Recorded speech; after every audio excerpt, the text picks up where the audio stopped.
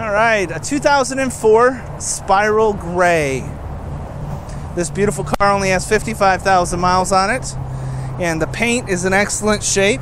Now, the front license emblem does have some blemishes to it, which you can see right there. It is wearing the chrome wheels to it, which really set this car off nicely with that metallic look to the paint.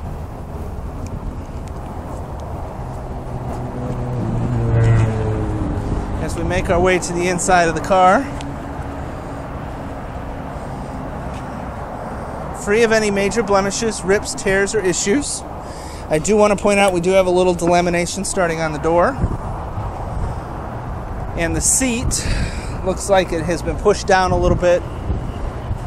Maybe a little heavier driver to uh, deal with the padding in the car.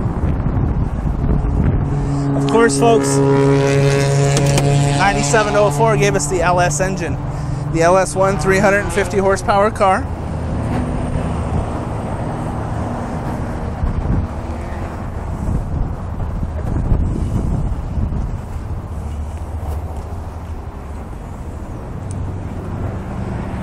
It is stock and in great running order.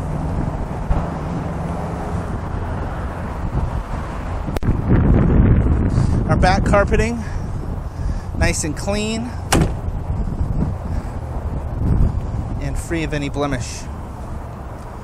And our back deck, even nice, metallic, paint excellent.